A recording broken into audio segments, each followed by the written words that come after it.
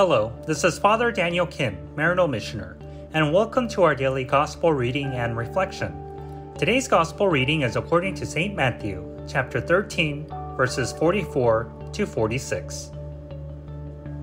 Jesus said to his disciples, The kingdom of heaven is like a treasure buried in a field, which a person finds and hides again, and out of joy goes and sells all that he has and buys that field. Again, the kingdom of heaven is like a merchant searching for fine pearls. When he finds a pearl of great price, he goes and sells all that he has and buys it. The Gospel of the Lord. Praise to you, O Lord Jesus Christ. I guess to frame this parable strictly in worldly and monetary terms today is that say you had a net worth of $500,000 and you would be guaranteed $100 million if you liquidated all your assets, with the offer having no strings attached no gimmicks, no nonsense, then would you do it? I am confident to assume that your answer will be a resounding yes. This will indeed be a no brainer.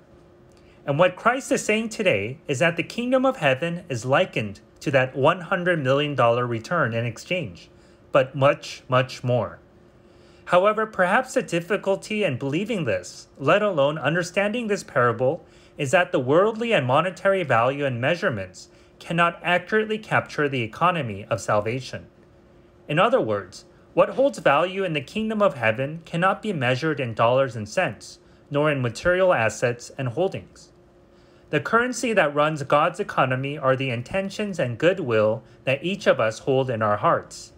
However, due to our shortcomings and fallibility, what we indeed hold on to are pain, fear, hate, and resentment. For some twisted reason, the aforementioned sentiments hold value for us, because if it didn't, why would we constantly hold on to them? So Christ is inviting us to exchange all of our pain, fear, hate, and resentment for the treasure that is eternal and fullness of life. It is a no brainer if we are indeed ready to part with what our egos falsely believes to be of great value. Thank you for listening to today's gospel reading and reflection. Please be sure to tune in again tomorrow. Have a blessed and wonderful day. If you enjoyed today's gospel reading and reflection, please make sure that you subscribe wherever you're listening to podcasts. Also, if you know somebody who may find value in today's reading, please make sure that you share it with them.